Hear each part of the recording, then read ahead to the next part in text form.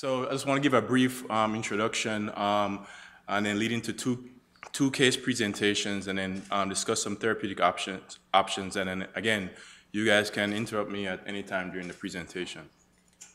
So we all know percutaneous mitral valve repair with the MitraClip system has emerged as a safe, um, very minimal invasive therapeutic options in patients with 3 plus or 4 plus MR and deemed high surgical risk. Um, percutaneous mitral valve repair has demonstrated efficacious, efficacious MR reduction, um, improvement in CHF symptoms, as well as um, some as well as improvement in LV reverse remodeling. Functional TR, um, which is often not talked about, actually frequently occurs with um, patients with mitral regurgitation, as actually brought up in this discussion um, earlier today. Um, the prevalence of moderate to severe functional TR ranges anywhere from 8 to 45% in patients undergoing surgical intervention.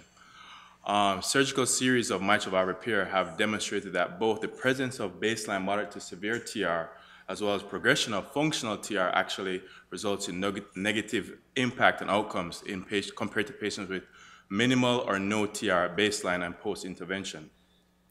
So current guidelines recommend tricuspid valve repair in patients undergoing mitral valve surgery with either one severe TR, mild to moderate TR with a dilated annulus, or evidence of RV dysfunction.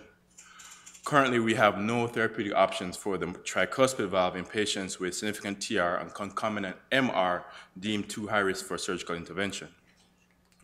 So what do we know from the transcatheter realm in terms of um, tricuspid regurgitation, both pre and post um, mitral valve repair with the mitral clip system? So um, Oh No um, and his Italian colleagues actually looked at this, and they looked at both echocardiographic as well as clinical variables in patients undergoing mitral valve repair with the MitraClip system. And they demonstrated, or they found that although patients may have significant MR at baseline, um, that a lot of this actually goes away. This was a series of 150 patients. A lot of this actually goes away when the mitral clip actually goes in. And this was in, um, all these patients were functional, by the way. Um, but what remains true, which is um, congruent with the surgical literature, is that if you do have moderate to severe TR at baseline, your outcomes are usually worse after any form of mitral valve intervention. As demonstrated here at the bottom, in the bottom right corner, a lot of these patients have, if you have moderate to severe TR at baseline, you're gonna have more hospitalizations, subsequent hospitalizations for heart failure. So I want to kind of um, demonstrate two cases of um, MitraClip intervention. The first, um, let's see, how, how do I actually play this? Do I have a clicker here? Oh, here we go. Thank you.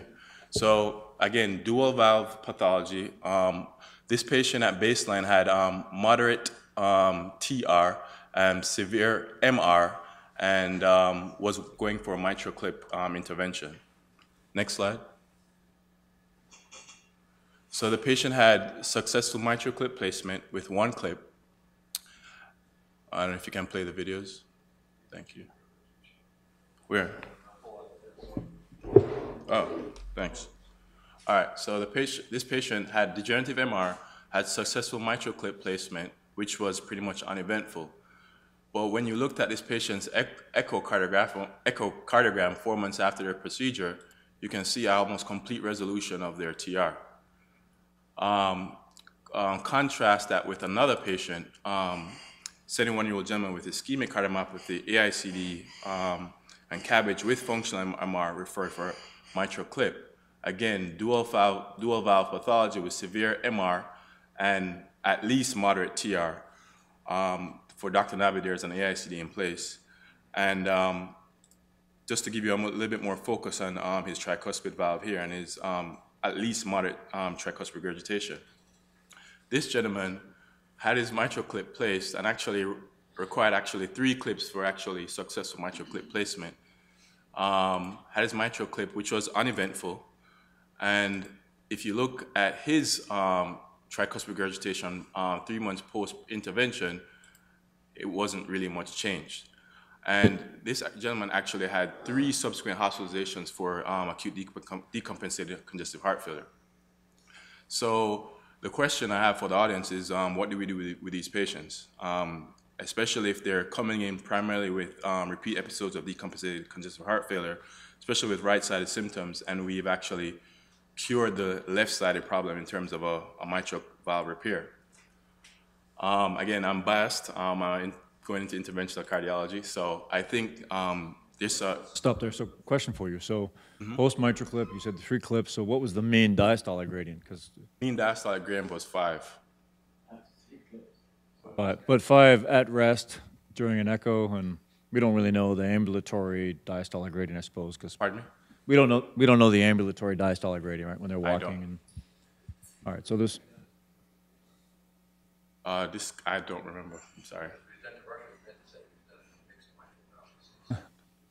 Okay. Yeah. All right.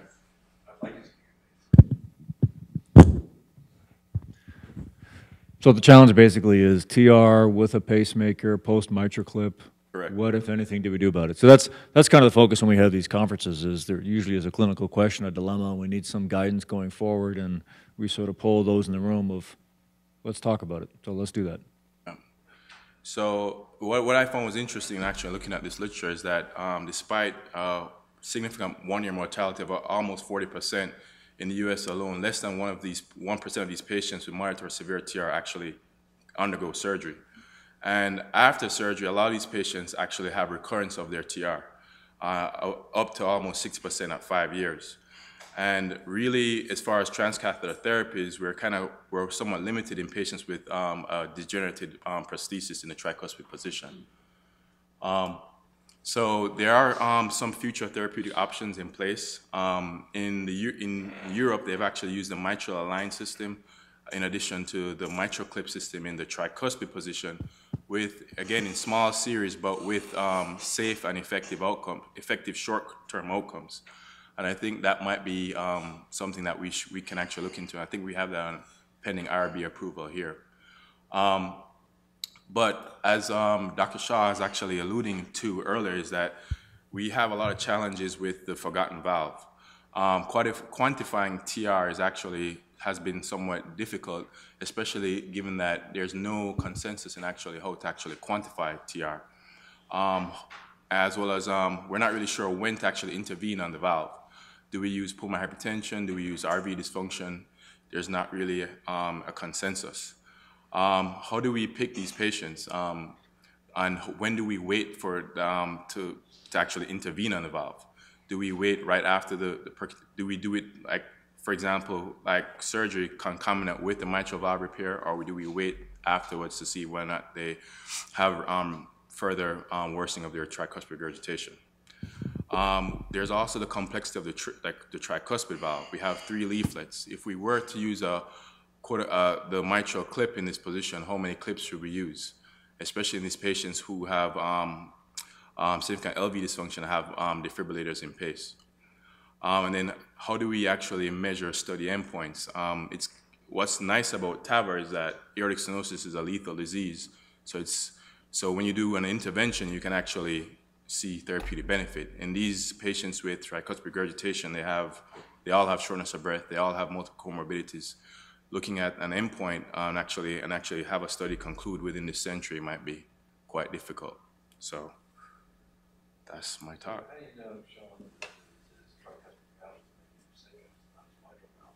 We don't know. What we've we've fixed the mitral valve, so I,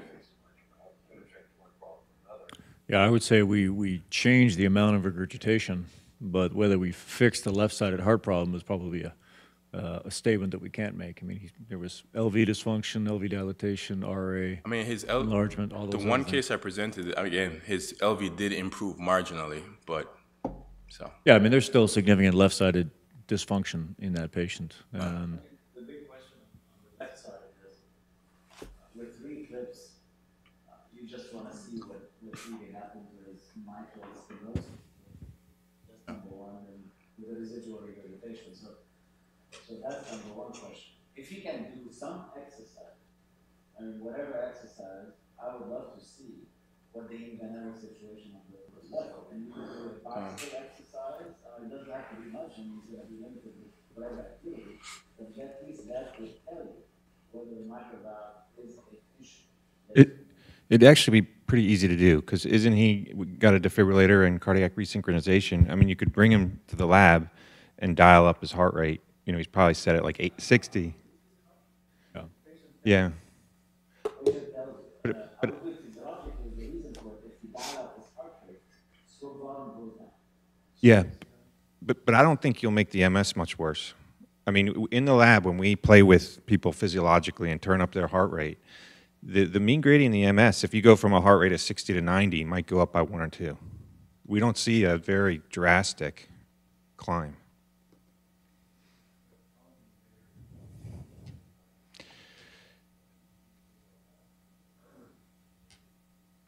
We do measure, well, uh, we do have the LVEDP, but we're, uh, that'd be part of the measurement because we're measuring the, we're measuring LA and LV at the same time. But I think, I think the, uh, the progression of MS is a concern in somebody who gets three clips, because every clip creates a tissue bridge, and that tissue bridge gets a little bit bigger over time because it gets endothelialized, and now you put three clips, each of those tissue bridges getting bigger, and the closer they are, you know, the Sure. more they can sort of blend together, and we've had at least one It's a- case. It's a theoretical concern, Yeah. It- it- but there's no relationship between number of clips and mitral stenosis. I mean, we have had it with one clip. Right, right, because the, you use more clips in bigger valves. Right, right. So in this case, I mean, I don't, in the, the second case you showed, in terms of decision-making, there really isn't one. The patient wasn't a, a good candidate for mitral surgery, so pretty well, they're not going to be a candidate for tricuspid valve surgery.